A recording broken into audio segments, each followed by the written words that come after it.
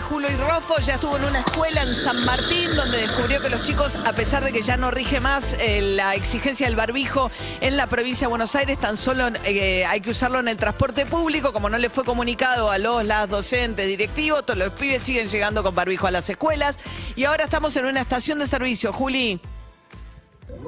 Sí, estamos en una estación de servicio porque vinimos a chequear a ver qué pasa con el gasoil en estos últimos días. Juli Estuvo chequea, ¿ven? A nosotros nos dicen no más barbijo, va a la escuela, ve barbijo, nos dicen falta gasoil, va eh, Juli. Un Es servicio a la comunidad. Chequeadora. Un servicio a la comunidad. Un servicio a la comunidad. Sí, de hecho, arranquemos por un relevamiento que hice ayer. Llamé a 10 estaciones de servicio de la ciudad de Buenos Aires Mirá. y en tres no tenían gasoil eh, y no sabían cuándo iban a tener. Ahora en esta de San Martín, en la que nos vinimos a ver qué pasaba, eh, hoy tienen gasoil, hasta ayer no tenían, recibieron a la tarde-noche eh, más, eh, bueno, más gasoil justamente para reponer.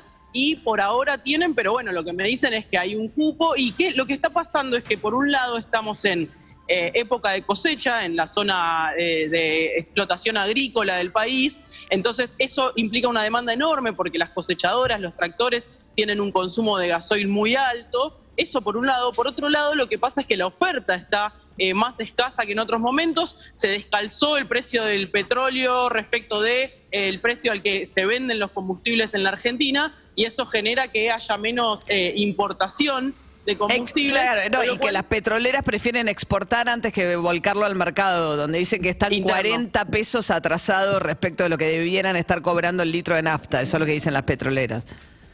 Claro, entonces, bueno, eso, eh, la conclusión de, de eso es que vos llegás al surtidor y te podés encontrar con que no, no hay gasoil para, para que cargues. Fernando es encargado en esta estación de servicio del centro de San Martín y así nos explicaba esto que, que está pasando.